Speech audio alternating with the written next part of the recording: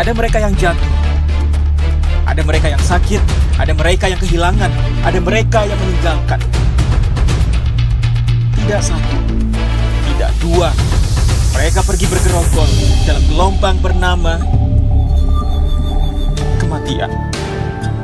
Pandemi akan pergi seperti kabut yang hilang sebelum fajar. Asal kalian tidak membawa ego, bergerombol di sana sini, berhahaha mengabaikan yang diatur. Sungguh elok jika kalian peduli atas nama kemanusiaan. Pakai masker, harga mati. Gak pakai masker, bisa mati.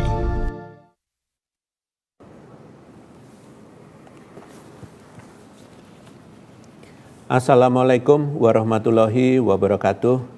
Selamat sore, salam sejahtera untuk kita semuanya. Hari ini saya akan menyampaikan perkembangan penanganan COVID-19 di Indonesia. Satgas Penanganan COVID-19 telah mengeluarkan surat edaran nomor 16 tahun 2021 tentang ketentuan perjalanan orang dalam negeri yang berlaku efektif tanggal 26 Juli 2021 sampai dengan waktu yang ditentukan kemudian. Berikut adalah persyaratan yang harus dipenuhi untuk pelaku perjalanan. Bagi pengguna moda transportasi udara dari dan ke Pulau Jawa Bali dan daerah level 3 dan 4 wajib menunjukkan kartu vaksin minimal dosis pertama dan hasil negatif tes PCR maksimum 2 kali 24 jam. Sedangkan masyarakat yang melakukan perjalanan dari dan ke daerah dengan level 1 dan 2 hanya wajib menunjukkan hasil negatif antigen atau PCR maksimum 2 kali 24 jam sebelum keberangkatan. Lalu bagi pengguna transportasi laut, penyeberangan darat menggunakan kendaraan umum atau pribadi dan kereta api antar kota dari dan ke daerah dengan level 3 dan 4 wajib menunjukkan sertifikat vaksin, hasil tes negatif PCR maksimum 2 kali 24 jam, atau hasil negatif tes antigen 1 kali 24 jam.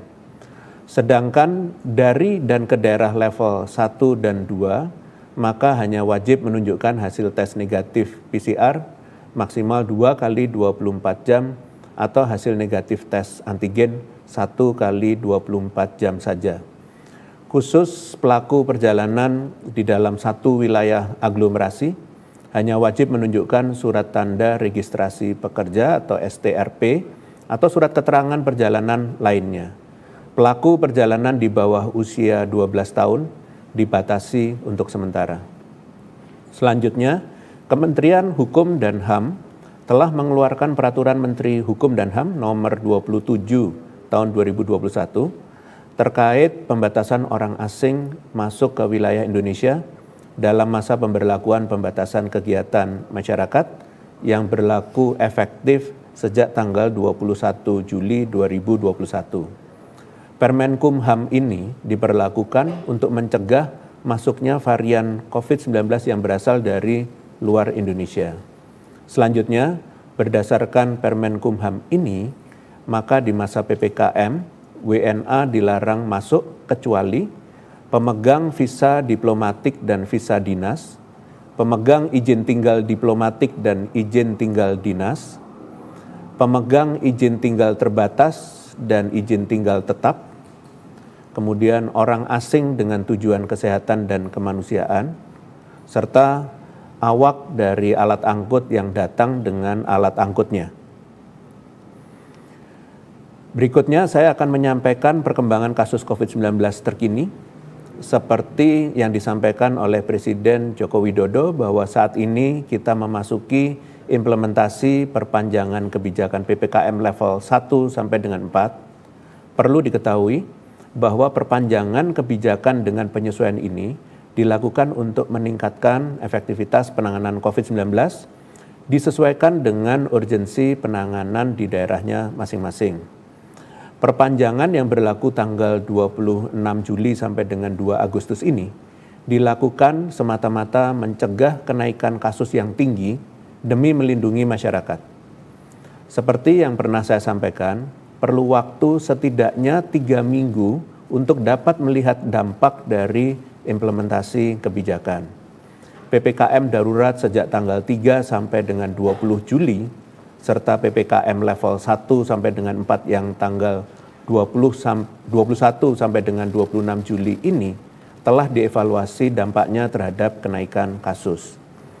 Jika dilihat pada tingkat nasional, baik kasus aktif, positivity rate, kasus harian, dan kesembuhan mengalami perbaikan pada periode PPKM level 1 sampai dengan 4 setelah sempat meningkat pada PPKM darurat.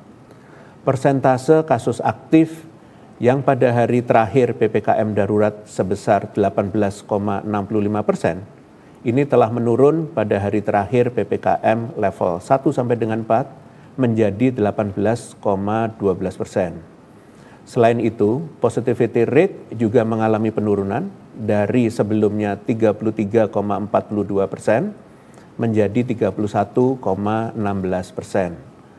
Penurunan juga terjadi pada kasus harian tertinggi pada periode PPKM darurat, kita pernah mencapai kasus harian tertinggi yaitu 56.757.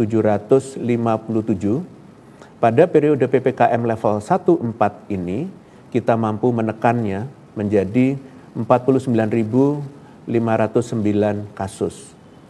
Begitu pula dengan jumlah kesembuhan yang terus menunjukkan peningkatan dari sebelum PPKM darurat yaitu sebesar 11.578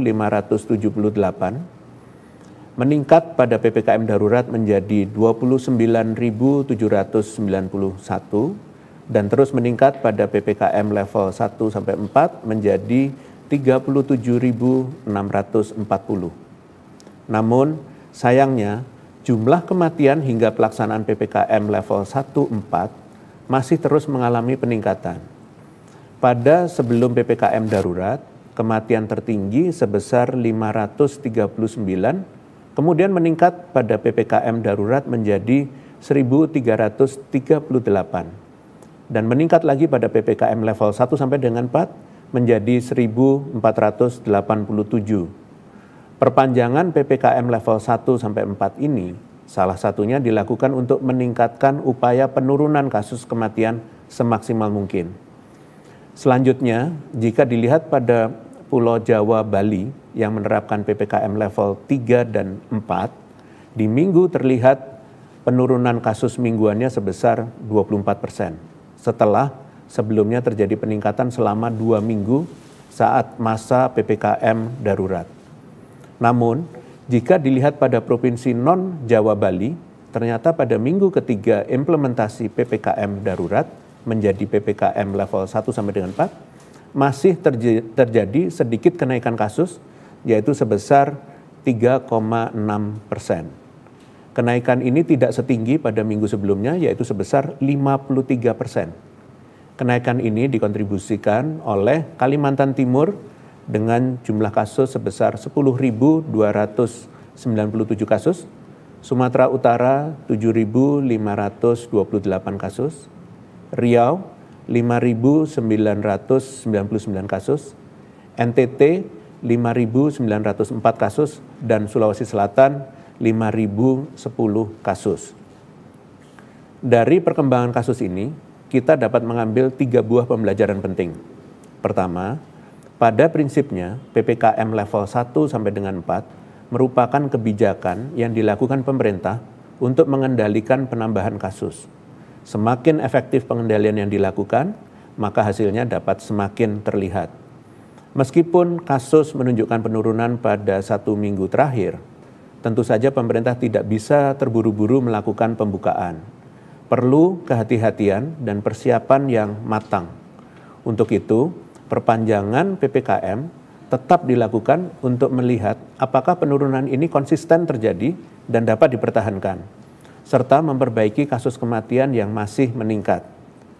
Pelajaran kedua adalah perbaikan kasus tetap harus dilakukan selama perpanjangan PPKM ini. Untuk Gubernur eh, Provinsi Jawa Bali, terus pertahankan penurunan kasus yang sudah terjadi selama satu minggu dan jangan sampai meningkat lagi di minggu ini.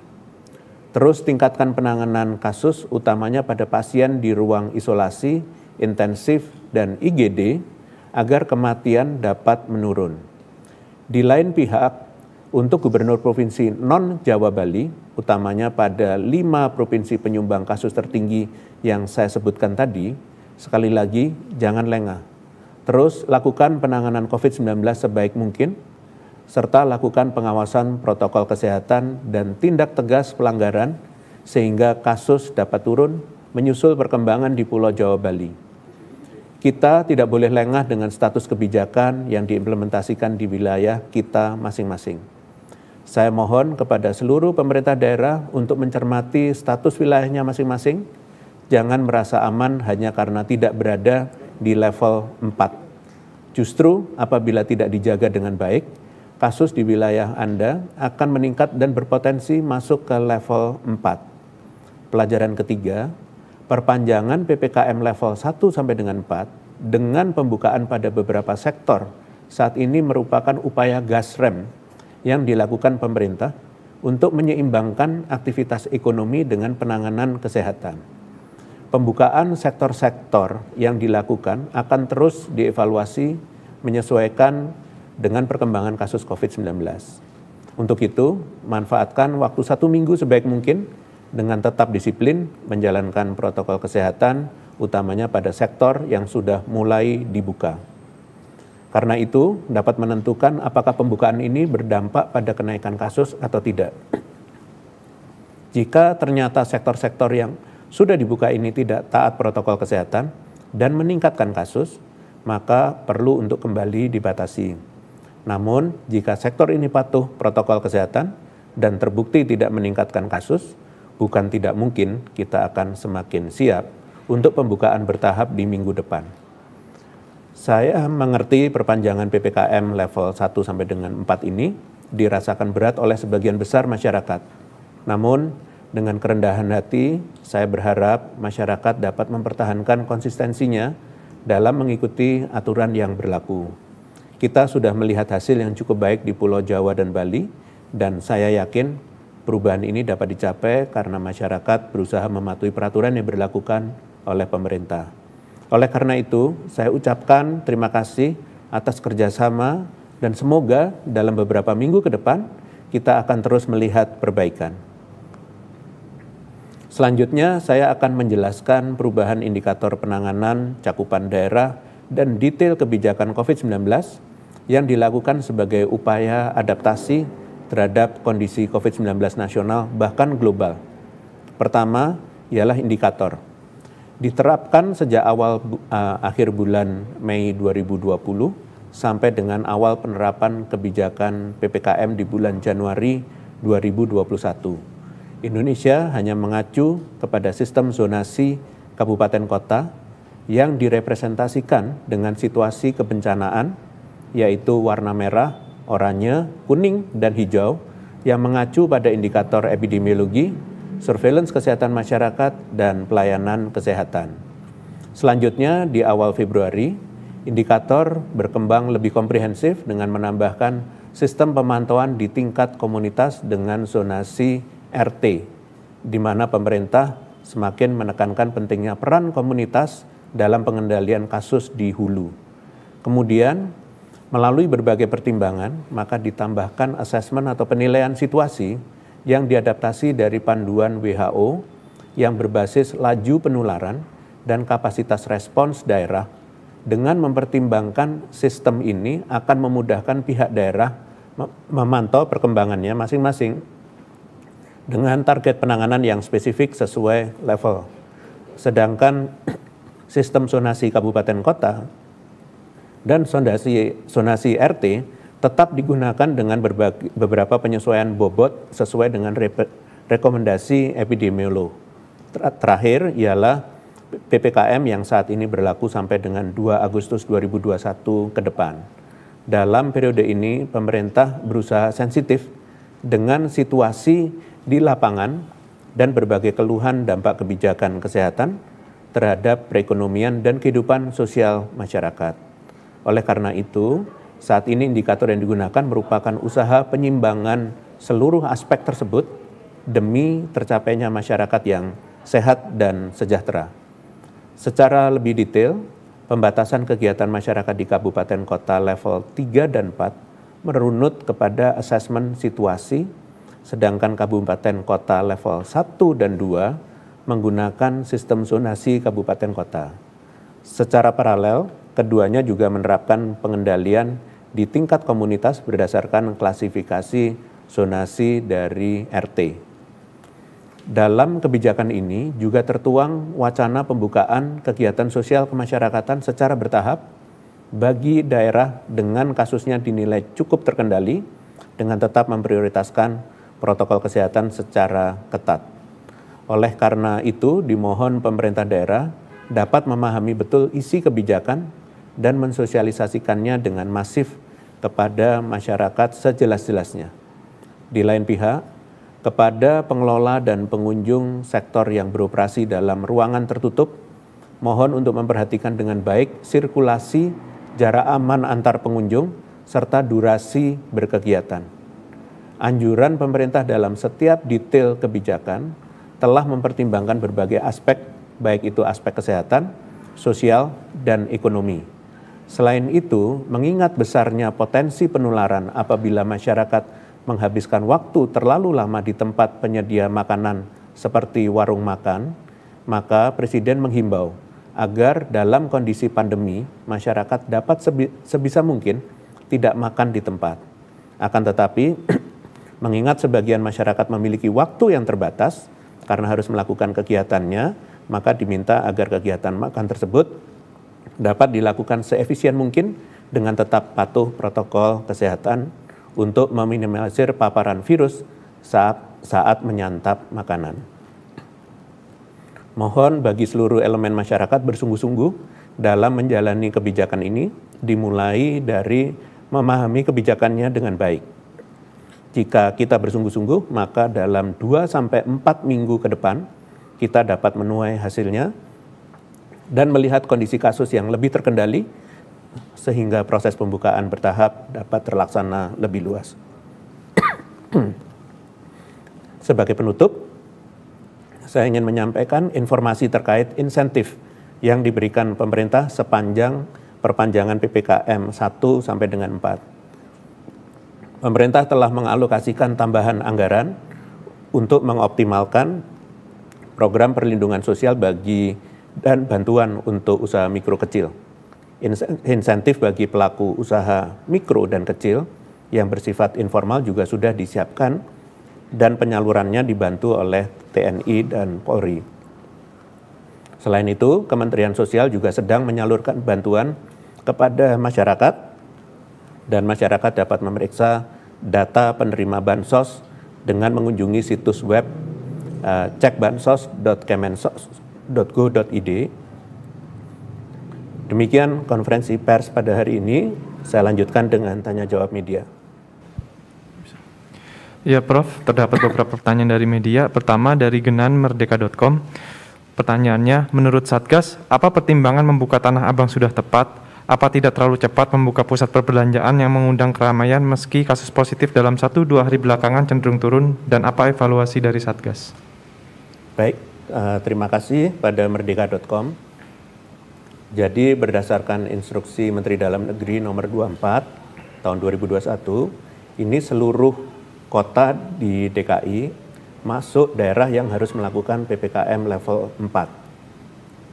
Dan dalam kebijakan PPKM level 4, kata, mohon maaf, kategori pasar rakyat yang menjual barang non kebutuhan sehari-hari, termasuk tanah abang, boleh, boleh beroperasi maksimal sampai pukul 15 dengan pembatasan pengunjung maksimal 50% kapasitas tempat. Nggak apa-apa dia lanjut dikit. Nggak apa-apa. Terima kasih. Oke.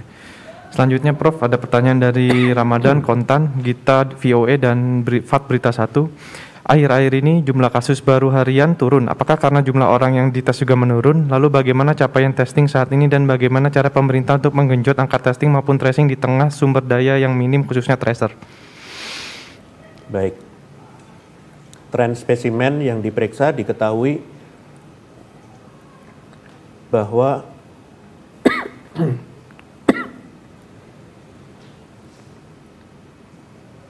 sementara bisa di stop. Nicanor.